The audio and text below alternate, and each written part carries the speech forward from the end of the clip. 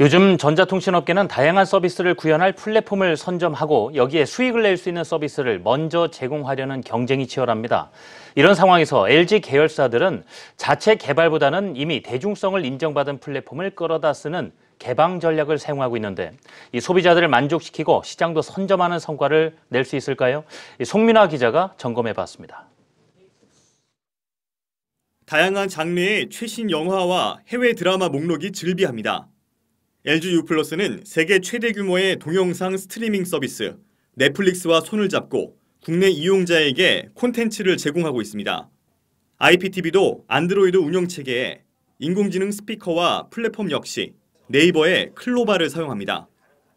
SK텔레콤이 온라인 동영상 서비스인 옥수수와 AI 스피커 누구를 KT가 올레TV 모바일과 지니를 자체 개발해 적용한 것과는 사뭇 차이가 납니다. 가전시장에서도 LG는 비슷한 전략을 사용하고 있습니다.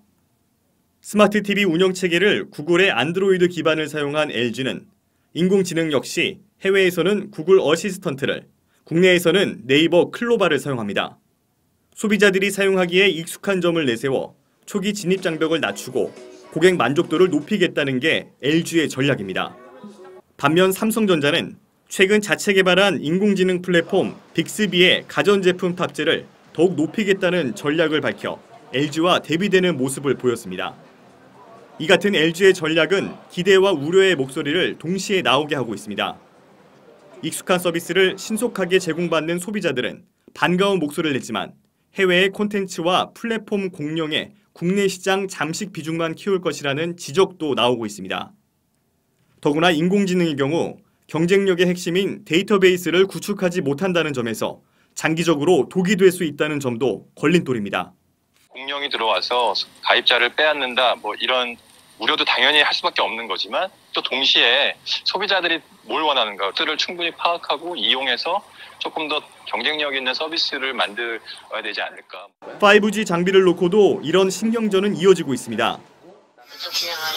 한국 시장만 있는 게 아니라 글로벌 시장이 다 있잖아요.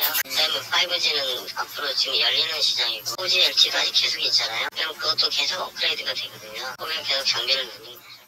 호환성과 가성비를 우선 고려한 LG U+의 선택과 5G 세계 첫 상용화에 국산화율을 높이고 보안 문제도 신경 써야 한다는 주장이 엇갈리고 있는 겁니다.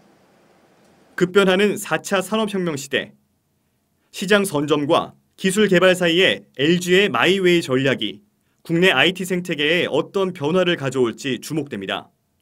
한국경제TV 송민아입니다.